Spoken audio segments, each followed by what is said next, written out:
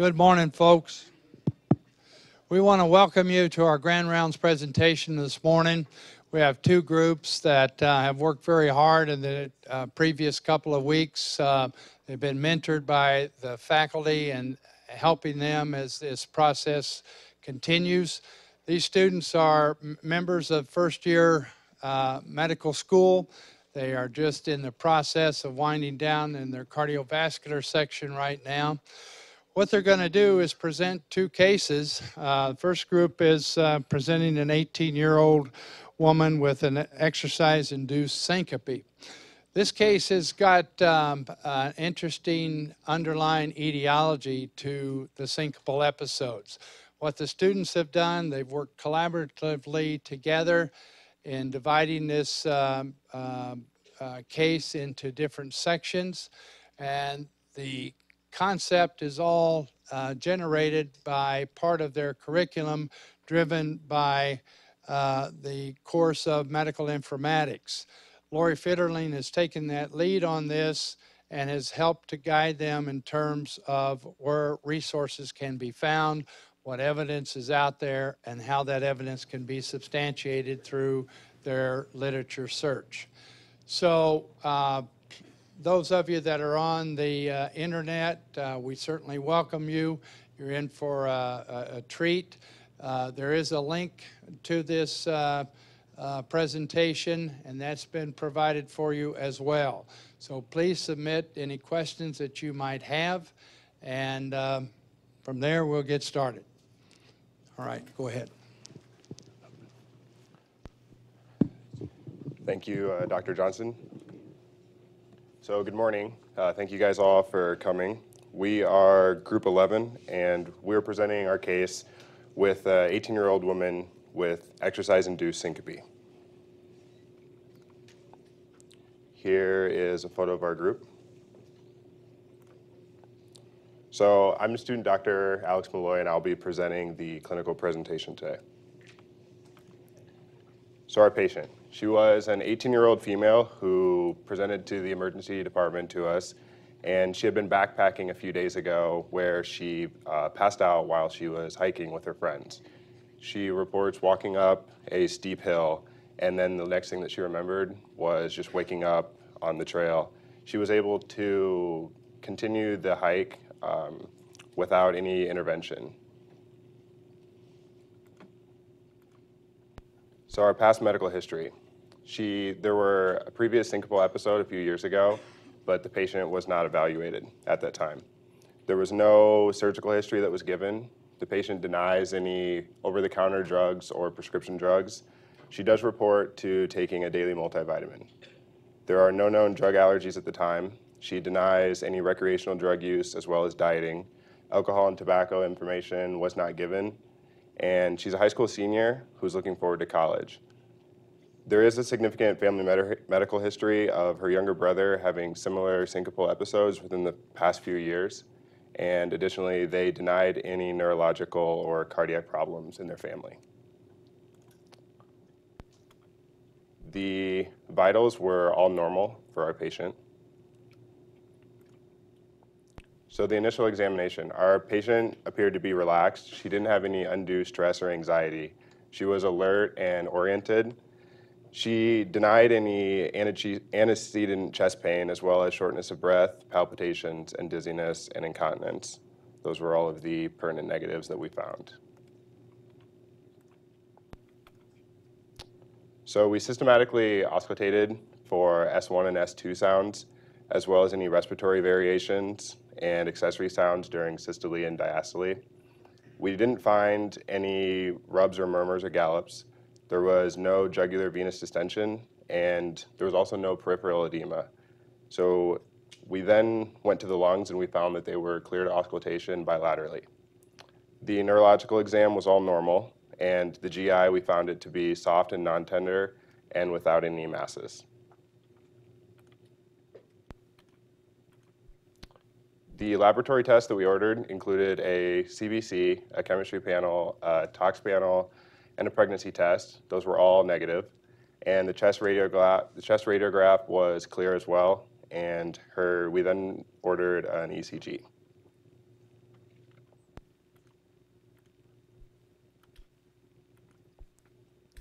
So right now our differential diagnosis all includes petit mal seizures, acute myocardial infarction, hypokalemia, and long QT syndrome.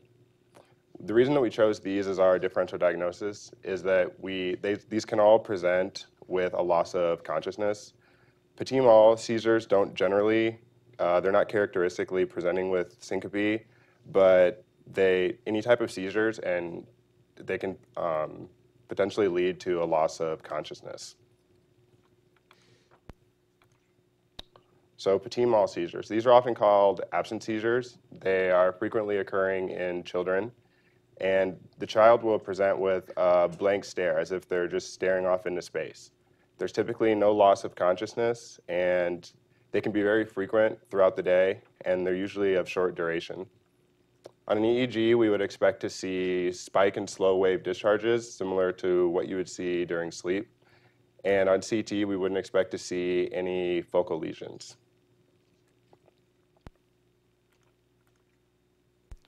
So our patient, she's not within this age range. She did have a loss of consciousness. Those were the key things that we found that helped us rule out petit mal seizures as being one of our diagnoses.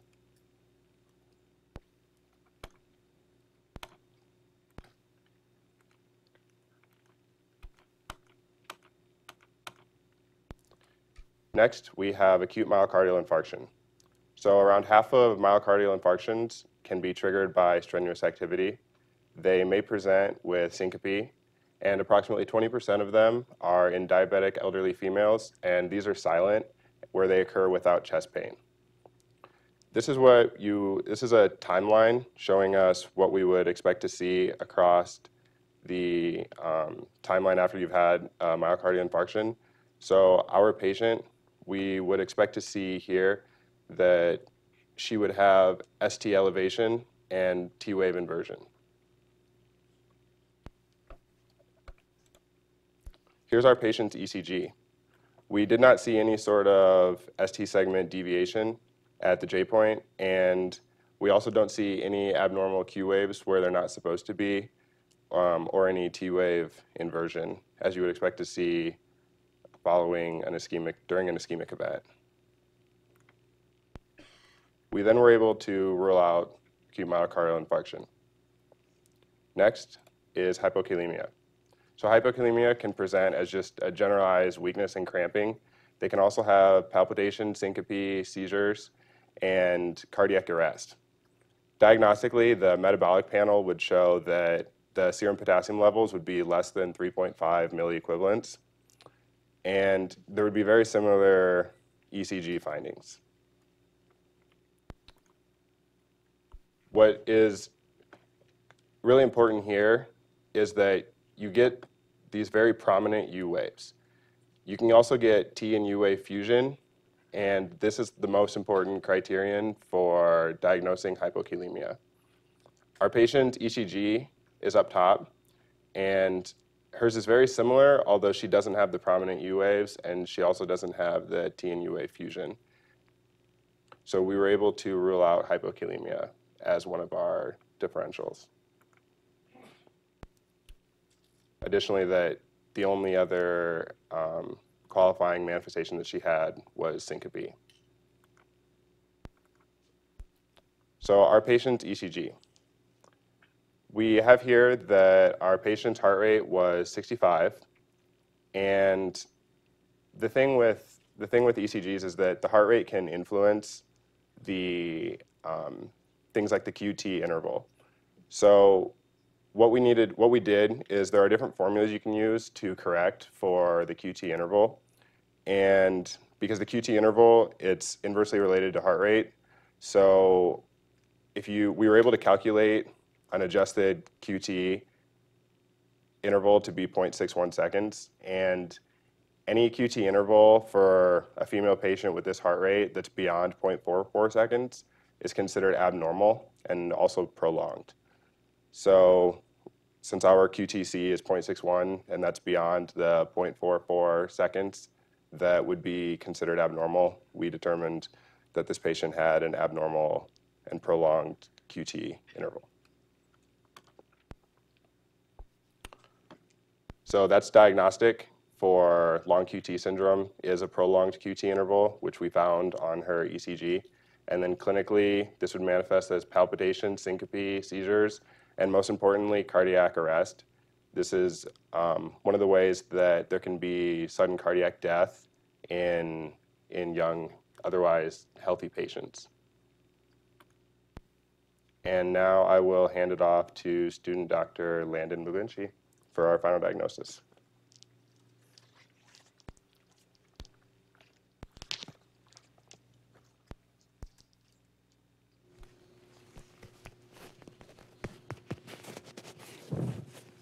Thank you, student Dr. Malloy. My name is student Dr. Landon McGlinchey, and I will lead us through the etiology, pathophysiology, treatment,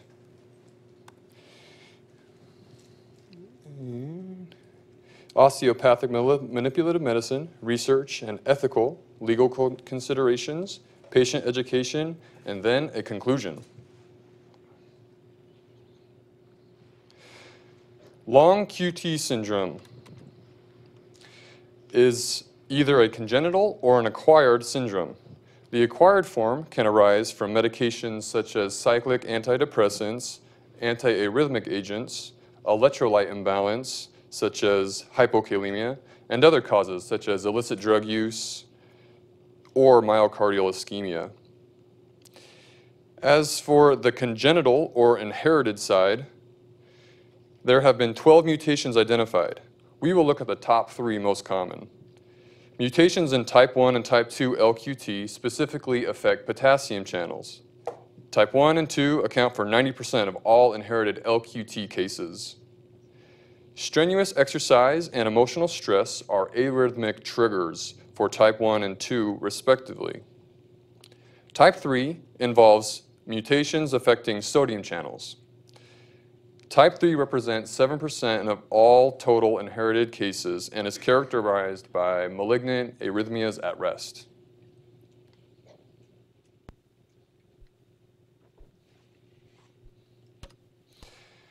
Here is more detail concerning ion channel abnormalities. First, all LQTS genes encode proteins affecting cardiac ion current. LQTS type 1 and 2 are the most common affecting potassium ion channels. For example, we will explore LQT type 2. This illustrated protein in the cardiac myocyte membrane is a potassium channel that conducts the delayed rectifying potassium current. We are viewing the protein product of gene KCHN2, the alpha subunit HERG.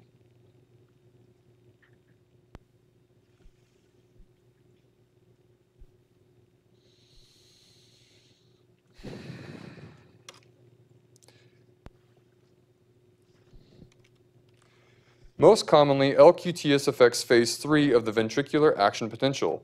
This is seen in both LQT type 1 and 2. In a normal phase 3, delayed rectifying potassium channels open, creating an outward potassium current, and calcium channels, which were open in phase 2, close, generating a decrease in inward calcium current. The large outward potassium current repolarizes the membrane potential towards the resting level. The figure demonstrates this. Here in phase three, we see a decrease in inward calcium current and a large increase in outward potassium current, illustrated in red and then yellow.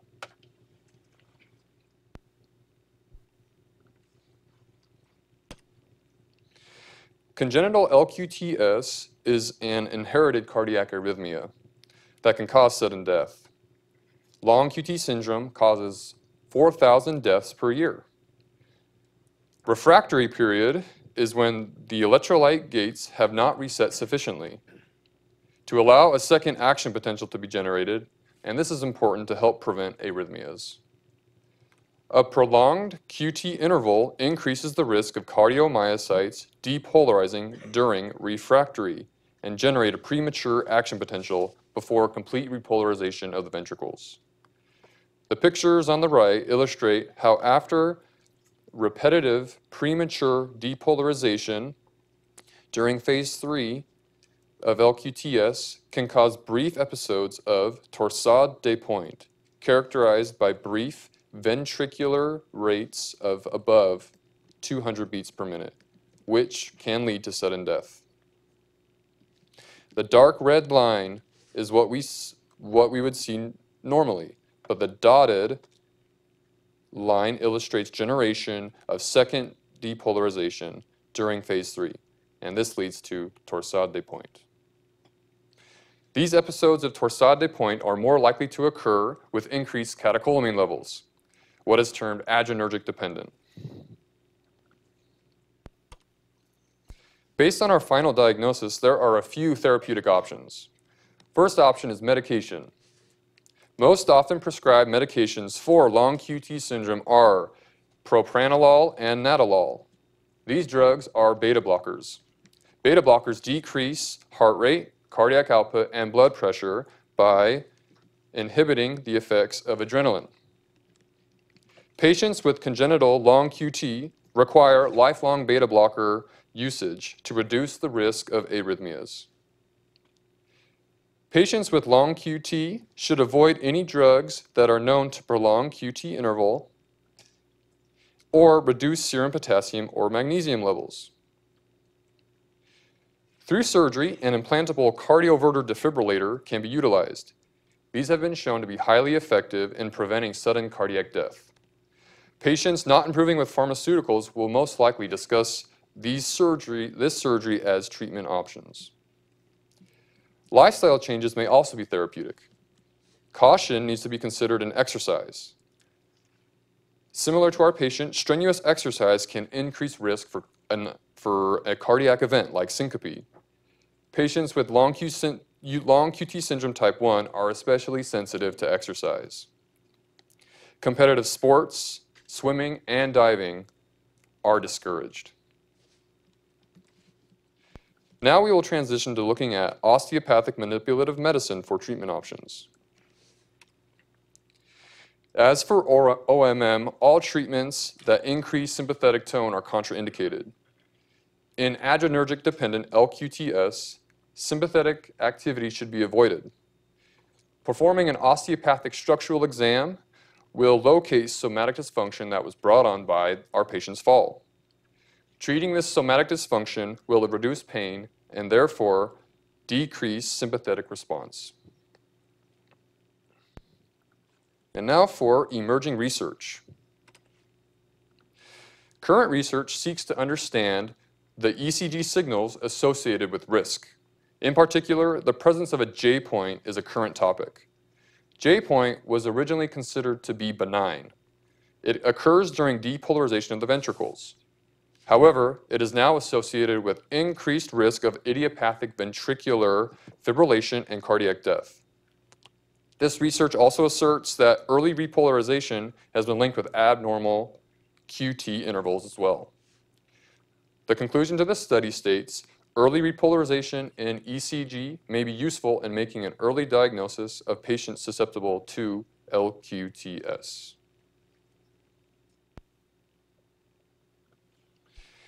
Next, the ethical and legal considerations, and then patient education. Our patient is an 18-year-old in high school. She still lives at home with her family. These are important to note to understand that our patient is legally autonomous, however, not yet developmentally autonomous. This means that by law, our patient is an adult. We would like to involve her family with the news of her diagnosis. However, all healthcare professionals must ask permission to communicate with their family. Suggesting to the patient a family conference setting to discuss treatment options, lifestyle changes, and also the risk associated with her brother may be beneficial.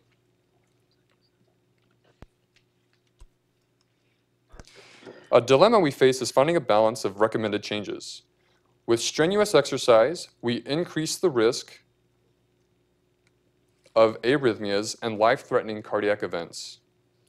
As indicated, 4 to 5% of cardiac events lead to sudden death.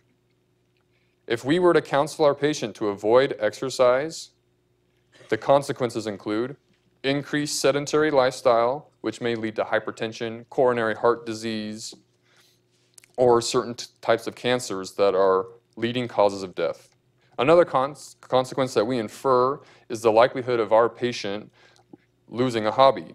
We know she came from a hike for this latest syncopal episode. If we were to discourage hiking, would that dramatically affect her well being, losing a hobby? We pose the question is it more dangerous for the patient to exercise or avoid exercise? Patient education. At present, screening, genetic screening is useful but not reliable. We will need to explain this to our patient. There is also a need to educate our patient on the risk associated with biological relatives. Teaching our patient the dangers of taking certain medications is also key.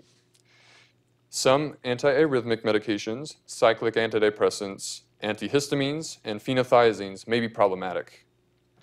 Patients should avoid sudden noises, strenuous exercise, and factors that trigger cardiac events.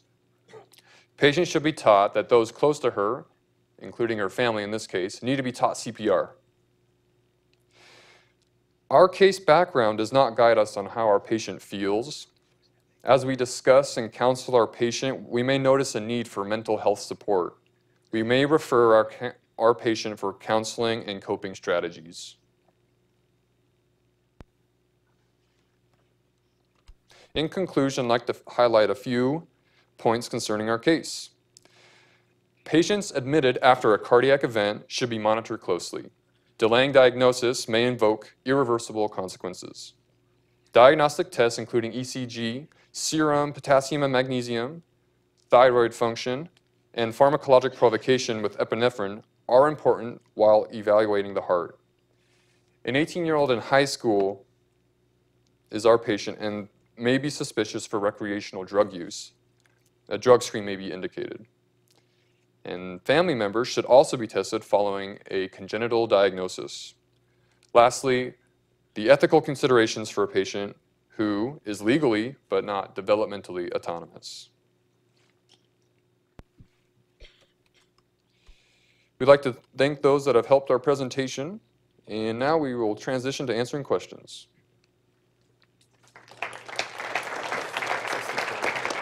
Caroline. Okay, who would like to start with the questions? I know you got some. All right, introduce yourself. Hello, my name is student Dr. Kevin Kai, and my question is Are there any antibiotics that can cause LQT syndrome?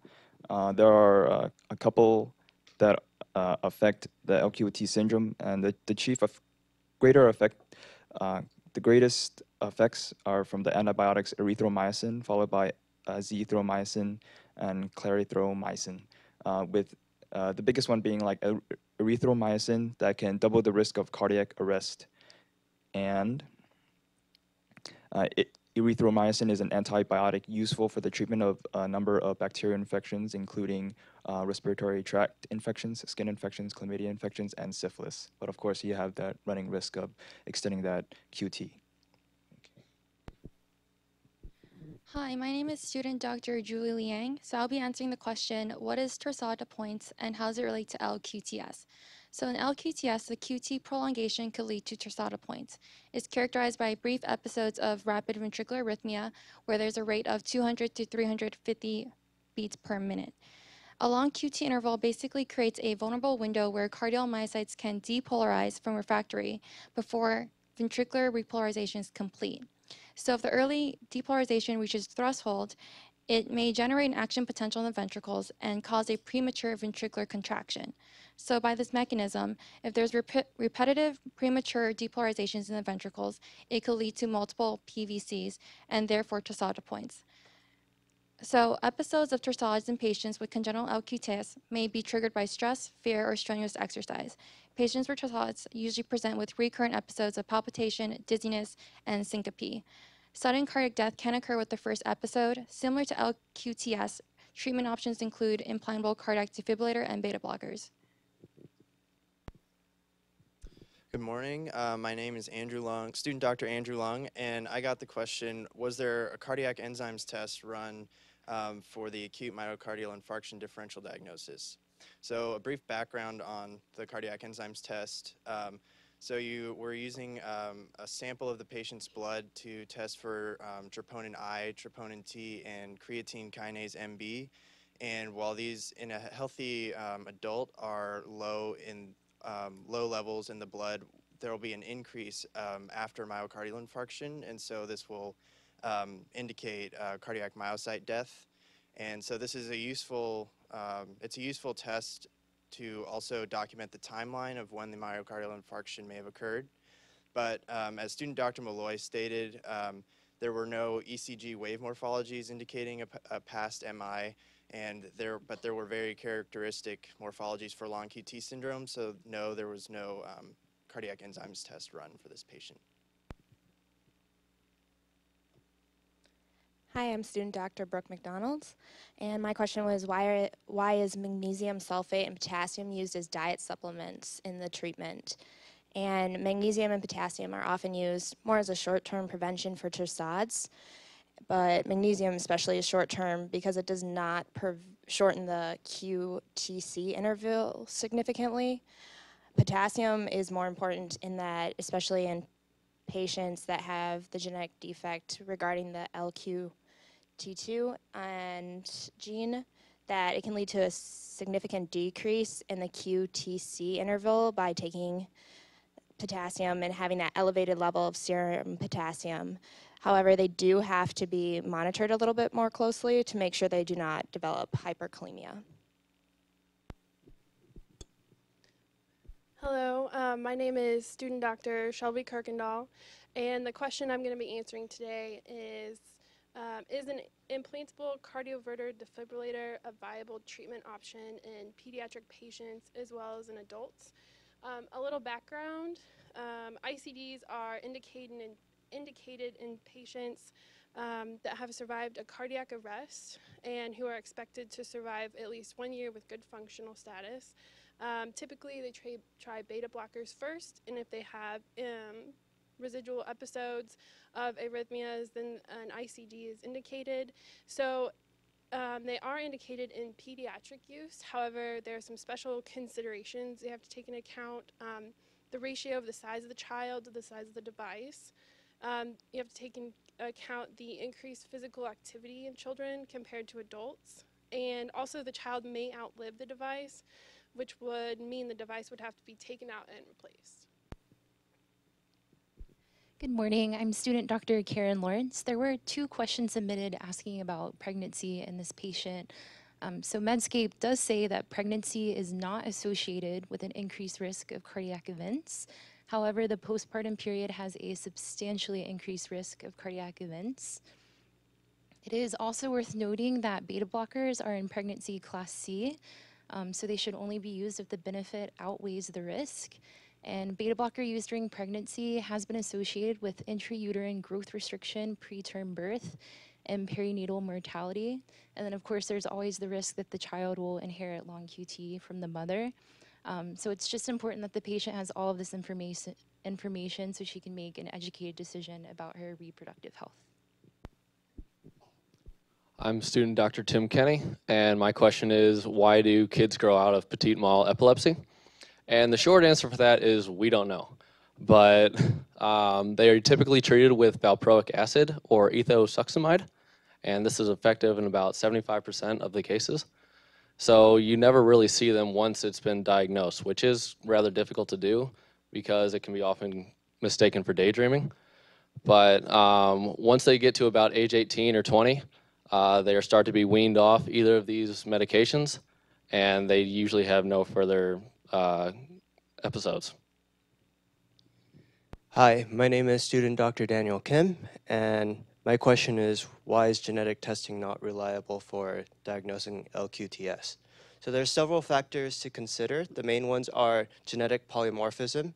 So because of the different DNA sequences that we have of ion channels, uh, just because you have a mutation in a certain sequence does not mean your ion channel will not function in the same way. The second is negative genetic testing does not mean you'll have the dis- disease as only about 70 to 75% of the patients have their mutated gene identified so far. And also, even if we had uh, proper genetic testing, which has been useful, uh, the different mutations would lead to the same um, clinical treatment ultimately. And so the most reliable way is to look at patient symptoms, family medical history, and physical examination, and also genetic testing so that we can further our research in that area. Those questions uh, were, were answered quite well. I want to uh, introduce a couple of concepts here, particularly to your colleagues out here. when you are reviewing an electrocardiogram, a lot of times uh, the thing that will catch your eye is the length of systole and the QT and the uh, duration of that QT interval. Oftentimes you don't remember how to calculate it. So the simplest way to remember that is the QT interval should be 50% less than the R to R interval. So that would give you the ballpark uh, likelihood that you are or you're not dealing with a, a long QT interval syndrome. So just remember your QT interval should be 50% less than your R to R interval. That's the way to remember that. The next thing is that when you do see that issue, keep in mind the possibility of hypocalcemia contributing to this uh, elongation of the QT interval. Um, the other concepts of torsades were addressed, I thought, quite appropriately. Just remember the party streamer uh, that Dubin's textbook has, and that's literally what uh, the torsades uh, complex tachycardia looks like. It's twisting of the complexes in multiple directions, like a tornado would go through. And torsades is difficult to treat and get them out. You know, this lady was had a sudden onset of a syncopal episode while hiking. So let's assume that's a strenuous form of exercise. What do you think the most likely arrhythmia was that she encountered? I didn't hear that brought up, wasn't discussed other than torsades. Were there any others that she could have encountered? VTAC, absolutely. VTAC can be a harbinger for torsades. Um, absolutely. VTAC would be in your differential. Um, the fact that she regained spontaneous recovery without any sequelae, she is lucky, isn't she? What's the likelihood that her brother has similar problem? It's definitely got to be checked, doesn't he? Uh, there's a good possibility for that. And then the other thing is look at the list of drugs that can potentially prolong that QT interval. These are commonly prescribed medications that uh, will all prescribe uh, the antibiotics, the erythromycin, the Z-Pak, the clarithromycin. How many patients come to you from nursing homes uh, on antidepressants, antipsychotics, uh, antihistamines can do it as well. So we've got to be cognizant of those problems, uh, those facts, when you're taking and prescribing medications for your patients. Um, overall, I thought your presentations were very good, gentlemen. I thought your content was well explained, and I thought the answers to your questions uh, were spot on. So, class, let's give them a hand of applause, and the next group, come on up.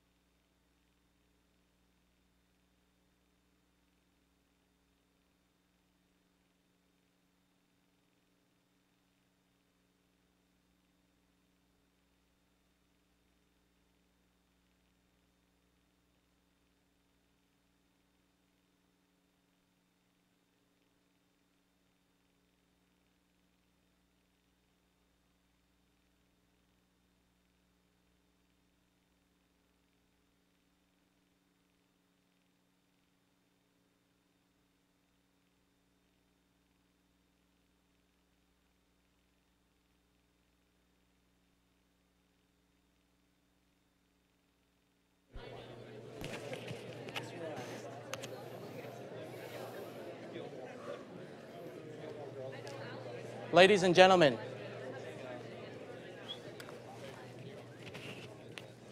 ladies and gentlemen, esteemed guest faculty and staff, fellow colleagues, thank you for joining us. Today we will be presenting the case of a 37-year-old woman with palpitations and near syncope.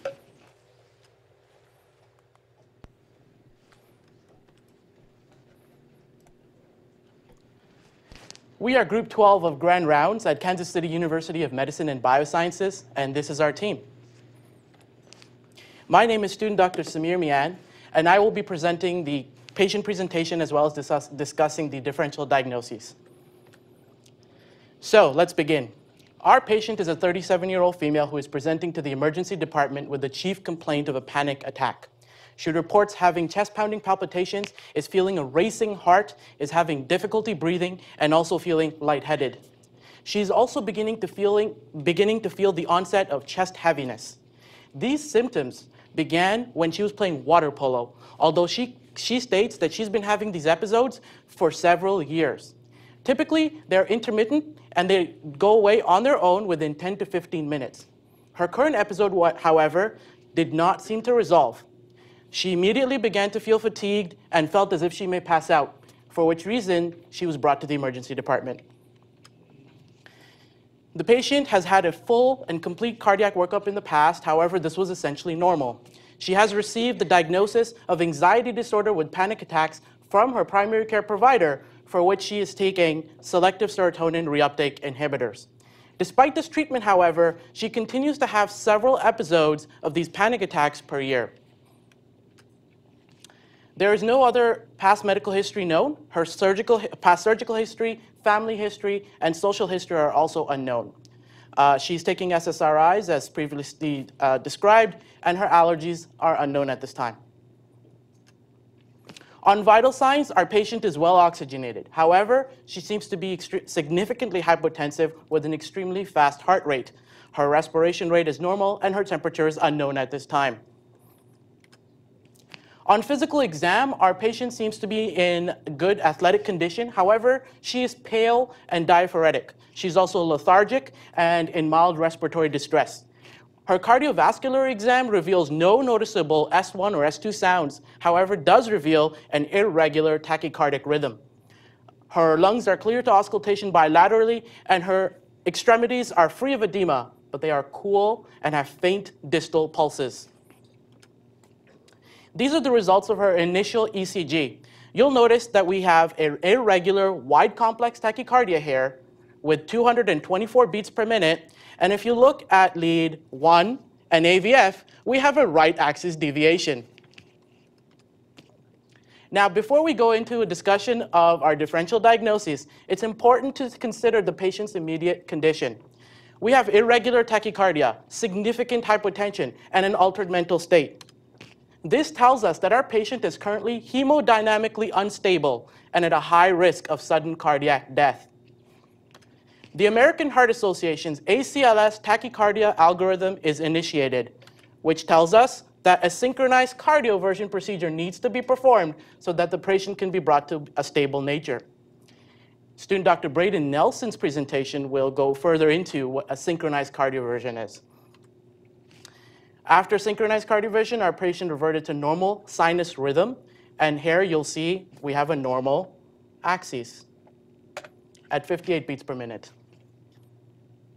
So let's, let's discuss our differential diagnosis. We'll be discussing ventricular tachycardia, both monomorphic and polymorphic. We'll be looking at atrial fibrillation with aberrancy, as well, as well as Wolff-Parkinson-White syndrome with atrial fibrillation. Let's begin with ventricular tachycardia. We're looking at this because it's the most common cause of sudden cardiac death in the United States. Any fast rhythm, faster than 120 beats per minute, with three or more PVCs in a row is considered ventricular tachycardia. More importantly, episodes of ventricular tachycardia can be brief and self-terminating, and the patient may present as asymptomatic. This is the typical clinical presentation of patients with ventricular tachycardia and you'll see that our patient has many of the features involved. Here we are looking at the ECG of a monomorphic ventricular tachycardia. You'll notice that each QRS morphology is uniform. the, the QRS morphology is identical from beat to beat. And this is because the stimulus for the ventricular tachycardia is originating from a single ventricular automaticity focus. When we compare that to one of the polymorphic ventricular tachycardia, you'll now notice that the QRS morphology is, vari- is, is varies from beat to beat. And this is because they are originating from multiple foci. In addition, you can also see here, within the same lead, and over here we're looking at AVL, you'll see a change in direction of that QRS morphology. This is also because they are occurring from different foci. Important to note that patients who have polymorphic ventricular tachycardia can spontaneously revert to sinus rhythm. Now we'll look at atrial fibrillation with aberrancy. It's important to note here there are two separate conditions concurrently occurring concurrently uh, over here. We have atrial fibrillation and an aberrant conduction pathway. Patients have non-specific symptomatology, many of which are, uh, are presented with our, in, our, in our patient's clinical presentation. In 80% of cases, the aberrant conductive pathway in atrial fibrillation occurs through a right bundle branch block morphology. We can see this on an ECG and identify it by an RSR prime variant in lead V1. So over here you'll see RSR prime. Next, we'll be looking at Wolff-Parkinson-White syndrome with atrial fibrillation. This is a congenital condition that involves the early stimulation of ventricles through an accessory pathway. The common clinical presentation you'll see, our patient per fits perfectly. In a nor normal cardiac exam, the patient may be asymptomatic, and so we may get uh, normal results on a cardiac examination. And the onset of WPW can be from childhood to middle age. These are the hallmarks of identifying WPW when looking at the ECG of a patient. You will see uh, an irregular tachycardia that varies from beat to beat. You'll also notice a short PR interval and this slow upward slurring we call the delta wave. Now, which of these does our patient have? Let's now look further and evaluate the sinus rhythm ECG to see what we can learn from that. This is our patient's sinus rhythm ECG, and I've isolated a few here. And you'll see that we have a short PR interval, shorter than 0.12 seconds. I've noted that here. But you can see this over here, over here, and over here. We also see that slow upward slur called the delta wave, the pre-excitation. And as well as the wide QRS morphology present here, but we also saw that in the initial ECG. These characteristics are not present on the ECG of a patient with ventricular tachycardia or atrial fibrillation with aberrancy. In fact, our patient's clinical presentation fits the perfect picture of Wolff-Parkinson-White syndrome with atrial fibrillation. For this reason, we believe this is the most likely condition that our patient is experiencing. And now student Dr. Braden Nelson is going to continue the, with the basic science, treatment, ethics, and emerging research.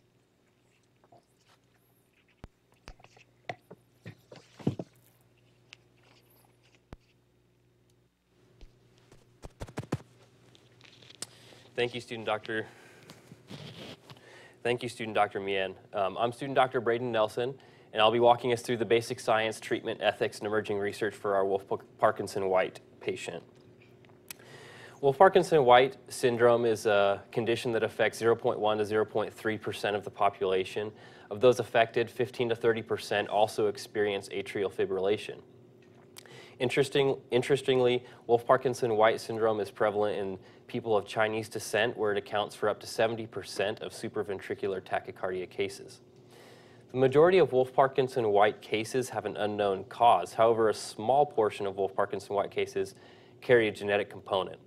The PRKAG2 gene uh, codes for a protein in the AMP activated protein kinase enzyme. Any one of seven different mutations can cause an autosomal dominant mutation, or autosomal dominant yeah, mutation that results in Wolff-Parkinson-White syndrome. In normal heart physiology, we see the depolarizing wave starting at the SA node and extending outward through the atria, causing atrial contraction. Simultaneously, the depolarizing wave travels to the AV node, where it experiences a short delay before traveling through the bundle of His, down the left and right bundle branches, and into the Purkinje system, where it contacts the ventricular myocytes and causes ventricular contraction. Uh, in Wolff-Parkinson-White syndrome, we see the presence of accessory pathways that bypass the AV node to cause, uh, to depolarize the ventricles early. The resultant tachycardia that our patient experienced is a fusion of both the accessory pathway and no, uh, normal pathway uh, depolarization. In uh, a normal ECG, we see the PR interval is here, um, should last between 120 and 200 milliseconds.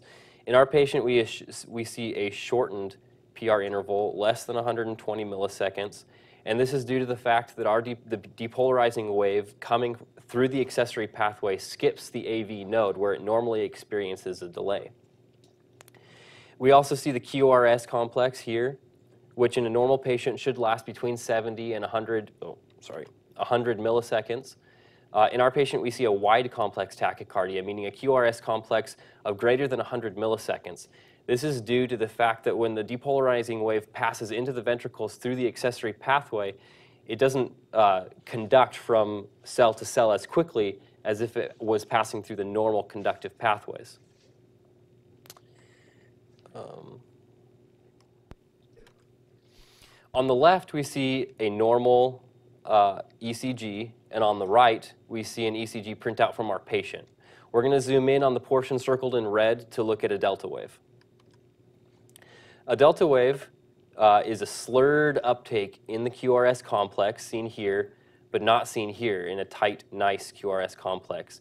The delta wave, again, is due to the slow conduction through the ventricular tissue caused by the accessory pathway.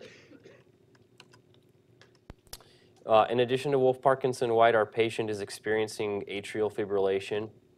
Atrial fibrillation is irregularly irregular, meaning that in our ECG, you would see an uh, irregular number of atrial depolarizations to ventricular depolarizations, uh, varying from uh, beat to beat.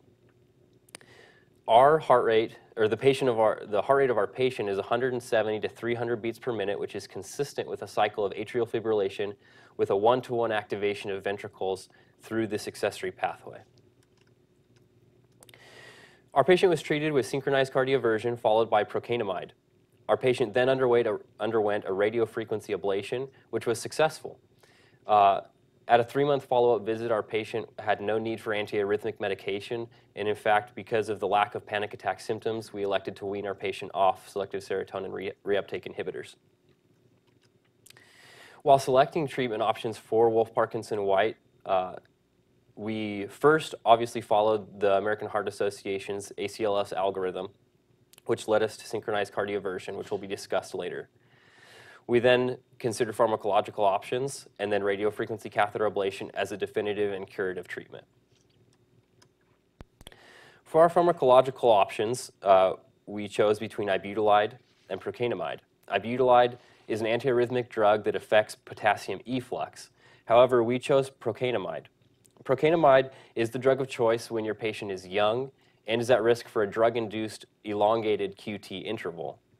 An elongated QT interval uh, is a risk for our patient because she's already experiencing a, a wide complex tachycardia, and a further elongated QT interval could send our patient into ventricular tachycardia or fibrillation. Contraindicated in our case is an AV nodal blocker such as di digoxin or other cardiac glycosides. Uh, digoxin works by inhibiting the sodium-potassium ATPase pump and uh, is contraindicated because since we already have the presence of an accessory pathway, we wouldn't want to block the normal pathway because this might shunt extra electrical activity through the accessory pathway and exacerbate our patient's condition.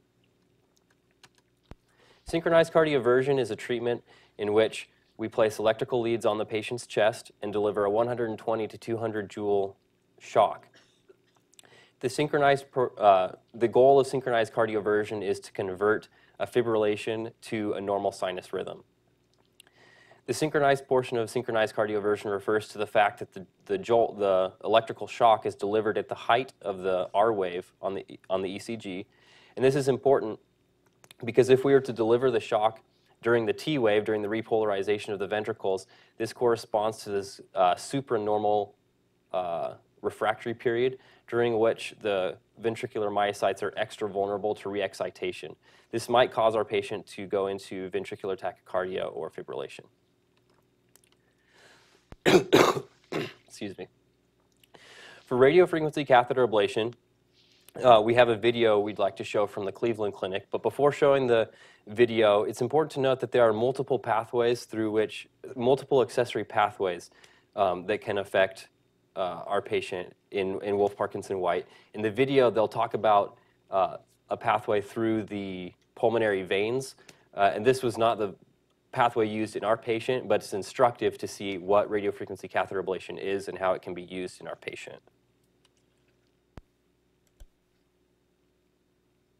So, uh, ablation as a means of uh, controlling and settling down this atrial fibrillation can vastly improve those patients' uh, lives. We know the initial trigger, the initial spark or the initial firing for atrial fibrillation tends to come from the pulmonary veins. And these are the four veins that are draining blood that has just gone through the lung and picked up oxygen back to the left side of the heart so it can then be pumped everywhere it needs to go. There's little muscular sleeves that line those veins, and those muscle cells, for whatever reason, in select individuals can act in a very irritable fashion where they fire very, very rapidly. And that tends to serve as the initial spark that uh, sets people off into atrial fibrillation, shorting out the entire chamber. Medicines, when we use them as an approach to, to the management of atrial fibrillation, try to calm down that irritability. When the medicines are ineffective and we're going to take the patient to the next uh, level of our therapeutic approach and go for an ablation procedure, what we're doing is burning or ablating the tissue around those veins to ultimately turn that tissue over into scar. Scar doesn't conduct electricity, therefore, if there's electrical firing within the vein, that electrical firing can't exit the vein and short out the entire chamber. So essentially, a catheter ablation is similar to a heart catheterization, which most patients are probably familiar with. Typically, at the clinic here, we use three or four catheters uh, that have different functions. What we do is we put those catheters through the groin all the way in the heart. One catheter is, for example, an intracardiac ultrasound so that we can see what's going on inside the heart. Another catheter is the ablation catheter. And then we have a catheter which is the mapping catheter so that we can uh, look at the electrical activity inside the left atrium. As we cross to the left side of the heart, the left atrium, this is where actually most of the action of atrial fibrillation uh, happens. And we use the mapping catheter to see where the electrical activity is and how much electrical activity is around the pulmonary veins. And we use the ablation catheter to cauterize and eliminate this electrical activity and to confirm that we have isolation of the pulmonary veins uh, so that the impulses that come from the pulmonary veins don't make it to the left atrium and therefore maximizing the chances of keeping the patient in normal rhythm. We don't use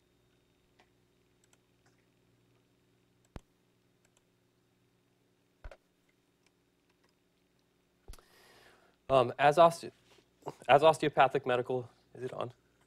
Yeah. As osteopathic medical students, uh, we looked into using osteopathic manipulation as a treatment for Wolff Parkinson White. However, unfortunately, there was a lack of direct research about the use of OMM for Wolff Parkinson White syndrome, and we elected to forego the use of OMM on our patient. For emerging research, uh, there is an interesting study done by Bunch, May, and uh, Bair in which they followed over 2,000 patients with Wolff Parkinson White syndrome. Um, these patients, some chose to undergo a radiofrequency catheter ablation and others chose not to. It was found that in the patients who did undergo the radiofrequency uh, ablation procedure, they had better long-term outcomes in terms of mortality over a 20-year postoperative period. However, it was also found that radiofrequency catheter ablation did not decrease the long-term risk for atrial fibrillation. Um, radiofrequency catheter ablation has a 95% success rate. It's important to note that the, for the 5% of patients for whom the radiofrequency catheter ablation is not successful, it may be due to the presence of other accessory pathways which were not ablated during the original procedure. In these patients, we can go back in with a unipolar or bipolar electrogram to better localize the accessory pathways being used uh, by the heart to cause issues, and we can then ablate those tissues, uh, hopefully to cure the problem. For ethical consideration, since there is a small genetic component, we would recommend genetic counseling to any patient who tested positive for the PRKAG2 gene. And there are also studies supporting radiofrequency ablation um, as a prophylactic procedure for those who are asymptomatic. This would need to be a cost benefit decision um, and discussion between the physician and the patient, uh, during which the physician and patient together came to a decision about what was best for the patient. For patient education, the Sudden Arrhythmia Death Syndromes uh, Organization and the National Organization for Rare Disorders both have excellent websites with pages on Wolff Parkinson White for patient education. Here's our bibliography. And we'd like to acknowledge the following individuals for their contribution to our presentation. And at this point, we'll open it up to questions.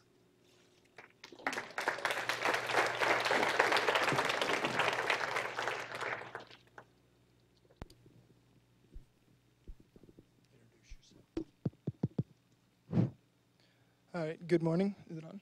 Okay, good morning. My name is, or I am student Dr. Jacob Novak. A little bit louder, closer? Okay.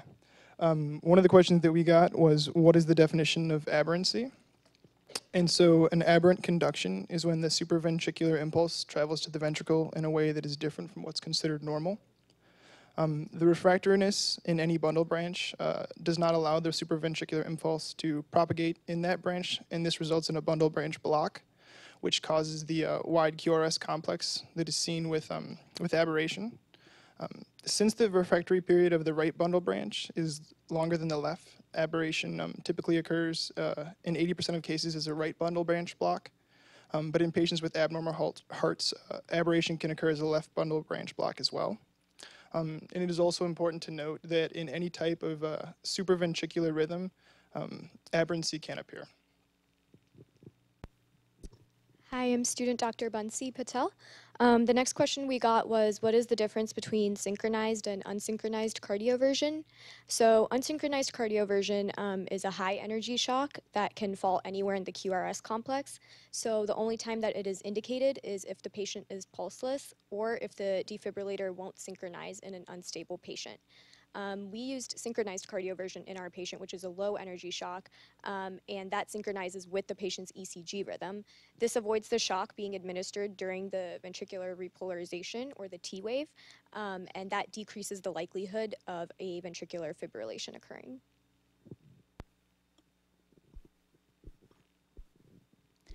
I'm student Dr. Paige Owens Kurtz, and I'm answering the question um, regarding what would put um, a patient with WPW at a greater risk of death. Um, and so we would term it sudden cardiac death versus um, sudden cardiac death, um, ab aborted sudden cardiac death, um, which is when there has been an intervention, mostly defibrillation defibrillation. Um, and patients that are under um, certain qualifications demographically, particularly a younger age, um, even in, in children diagnosed um, male episodes of syncope, which our patient also had, um, atrial fibrillation, also our patient had.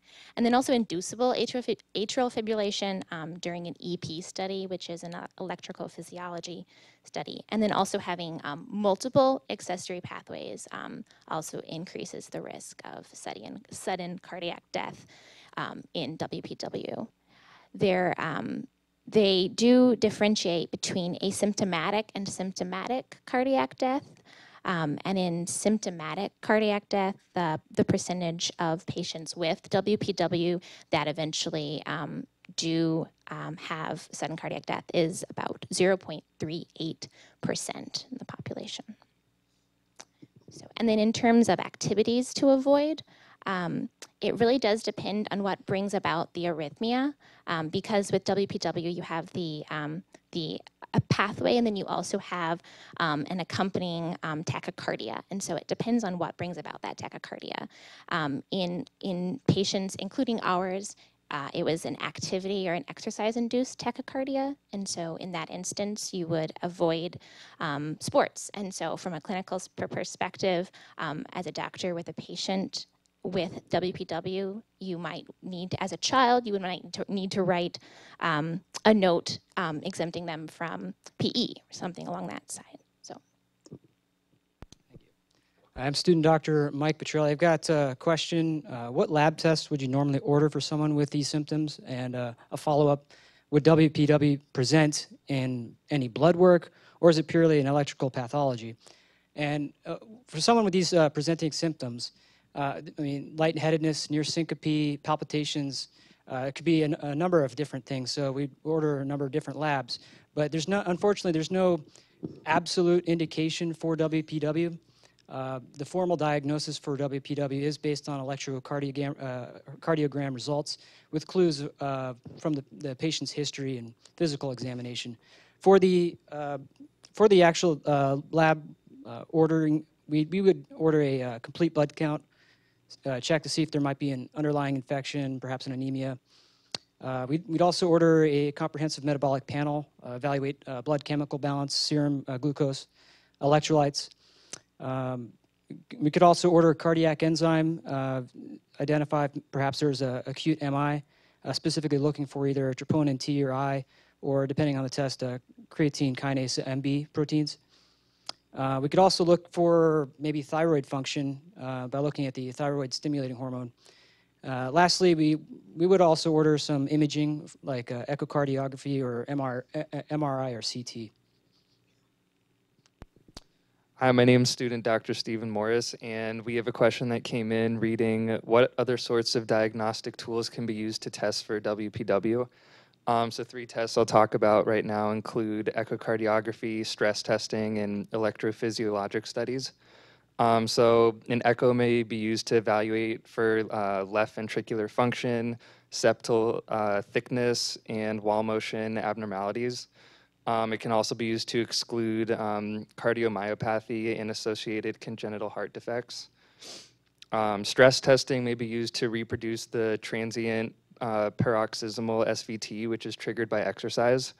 Um, it can also be used to document the relationship of exercise to the onset of tachycardia and um, to evaluate the um, efficacy of antiarrhythmic drug therapy. Uh, finally, um, electrophysiologic studies can be used to determine the mechanism of the tachycardia.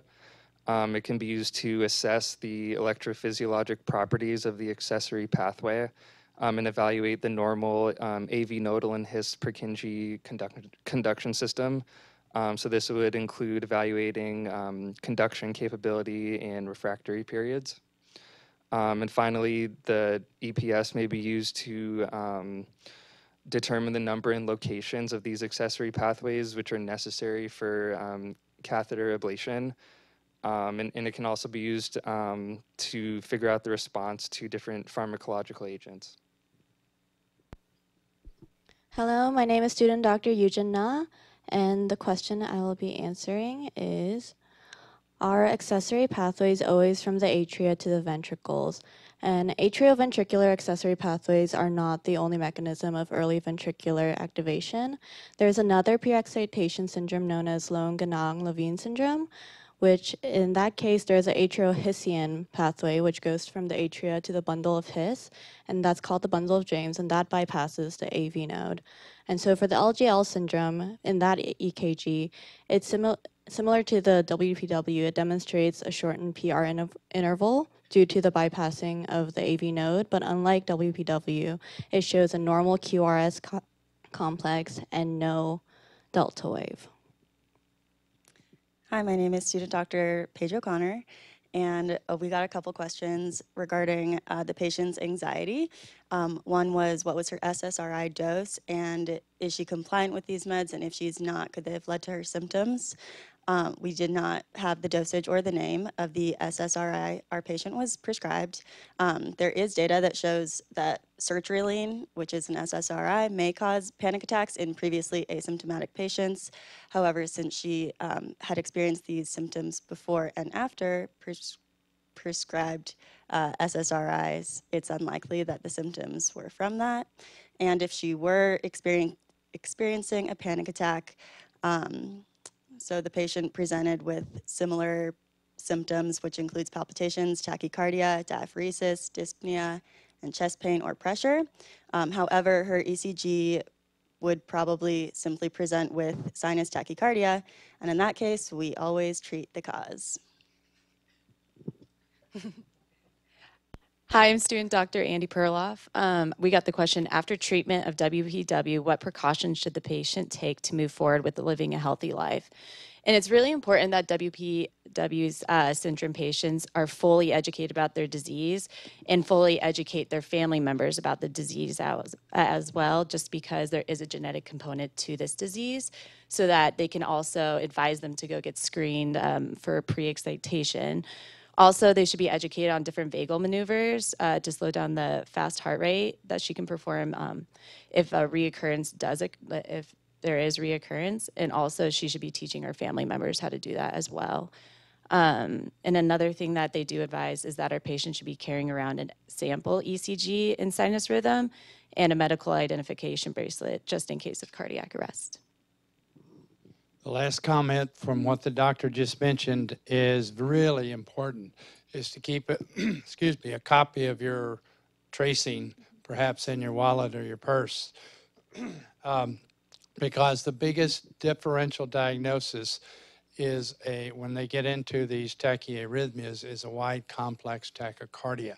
So if you can tell the attending that hey I have underlying pre-excitation syndrome, that eases a lot of angst.